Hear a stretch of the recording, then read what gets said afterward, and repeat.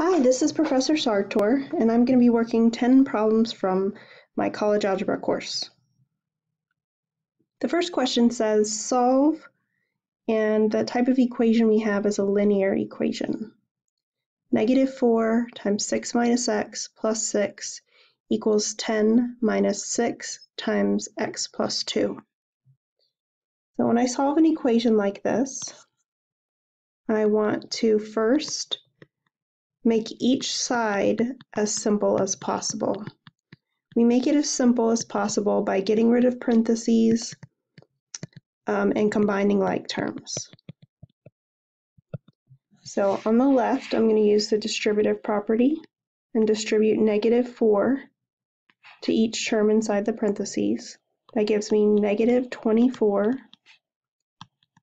plus 4x I'm going to carry down the plus 6.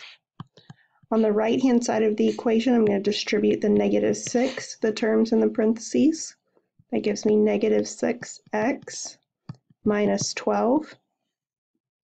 Then I'm going to combine like terms. So on the left, I carry down that 4x and combine the like terms to get a negative 18 and on the right, I'll carry down the negative 6x and combine the like terms to get negative 2. Once I've made each side as simple as possible, I want to get all the x's to the same side. So I would add 6x onto both sides. That would give me 10x minus 18 equals negative 2. And once I have all the x's on the same side, I want to get x by itself. I'm going to add 18 to both sides. That gives me 10x equals 16. Divide both sides by 10. I can reduce 16 over 10 to be 8 over 5. So the solution is 8 fifths.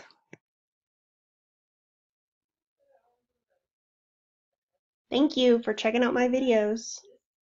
Have a great day.